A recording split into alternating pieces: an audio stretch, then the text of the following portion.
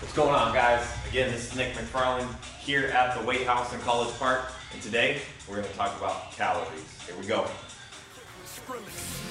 Murder on my mind, it's time to pray to God. My revolver's not religious, the revolution's born. You wanna know my name, go and tell the uh. Sarge. You wanna know my gang, Suicide Squad. Pistol on my waist, I might make a mistake.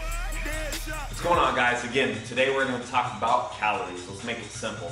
Too many people make this subject way too difficult. And a big reason why I want to get into it now is a lot of people, you know, we're three months into the year, and a lot of people are, are talking to themselves, why haven't I lost the weight that I told myself I would lose this year, right?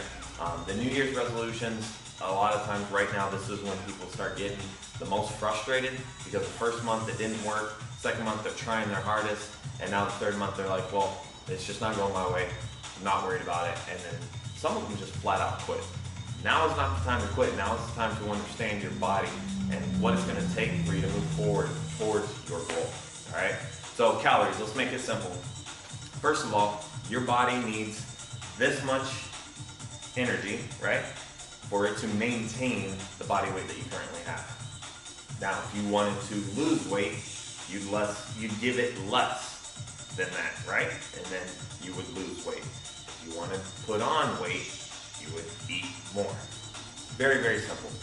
That's it. See you later. No, I'm just kidding. But seriously, that's as simple as it needs to be. And you, there's so many people that make it more difficult. And the big reason why I'm doing this now, again, is because the resolutioners that, you know, unfortunately are, are frustrated. This is not to make fun of them, this is to help them. But all this other shit out there that I see, I see billboards of freeze away the fat. And I, as soon as I saw that, I was like, what the hell is going on? And people fall for that. People fall for these little pills and, and tricks and, and all this shit that doesn't help people live a healthy life, right? So what I'm what my goal is is just to give you an idea of how you can do this on your own. All right. Obviously, yes, working out is awesome. It's going to help you burn more calories and initially get you to that goal. Again, if weight loss is your main goal. If strength is your goal, then you know lifting weights can help with that obviously as well. If you want to put on size, yes, that can help out as well. But when it comes to actual calorie intake, this is something that you need to understand in order for you to not perfect the process, but for you to understand the process a little better.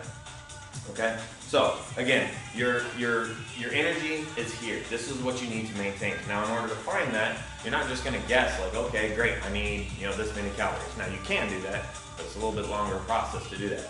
There is a calculator, that's called the TDEE, and essentially what that is your total daily energy expenditure uh, calculator. Simple terms, how many calories do you need to maintain your weight? That's it, right? So if you're trying to maintain your weight and you want to collectively just stay at that weight while you're training or doing whatever it is that you're doing in life, then this number will be approximately what you need. There's no telling you that this will work 100% for everybody. That's not how it works, but it'll give you a pretty good average of what it should be. Okay. Now, you're trying to lose weight, can guess what you need to do? You're right. You need to decrease that number. Now it's going to give you an, an option. I think it's uh, anywhere from two to 400 calories is usually what it's going to spit out. Um, and you want to experiment. The biggest thing that I tell everybody, especially if you have time, if you have a couple of months to experiment with this, then that number that it gives you for maintenance, try that number out. Eat that many calories and the macro spread that it gives you, and we'll talk about macros on another day. But eat that amount of calories for a week or two weeks and monitor your weight every single day and just kind of see how much you're fluctuating. Are you staying about the same? Are you dropping? Are you gaining? Or is it kind of, you know, up and down each day? And if it's up and down each day, that's pretty normal. I mean, for somebody to stay the same exact weight every single day is, that's abnormal. It doesn't happen very often. So try it out for a couple weeks, see if that's it. And if you end up staying about the same, then boom, you know that that's pretty much your maintenance. So if you're trying to lose weight, then we would go ahead and decrease the calories from there. Try it out for 200 calories a day.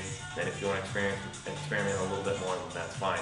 But try it out slow. That's how, what you want to do. You don't want to just you know, cut out five, six hundred calories and just say, hey, you know, I'm going to be fine in this process. It's not going to happen. You're going to experience a lot of problems up here. Might drive you crazy and relapse on the whole diet, anyways. Okay.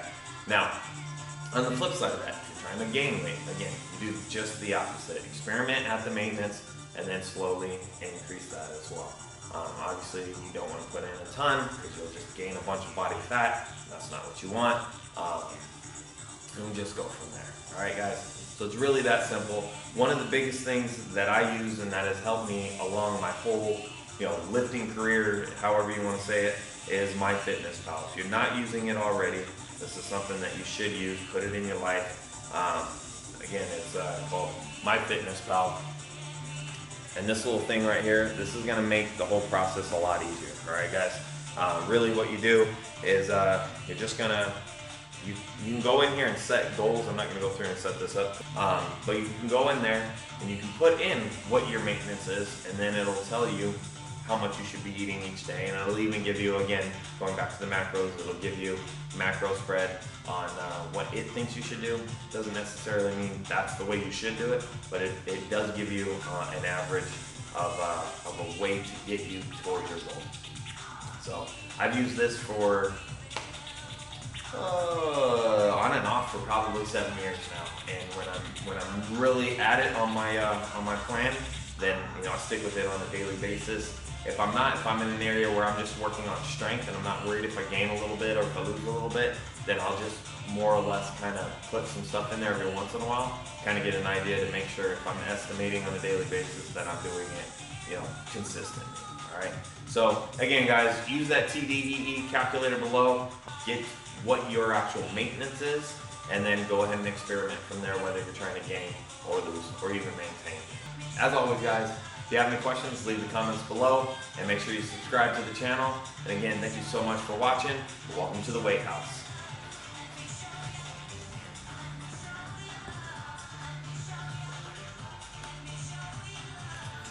Drop.